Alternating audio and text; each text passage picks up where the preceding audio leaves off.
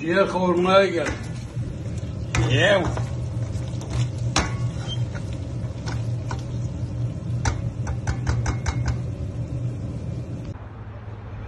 Beni dinlerseniz, eğer dinlerseniz, evden çıkmayın, balkonda çıkın oturun.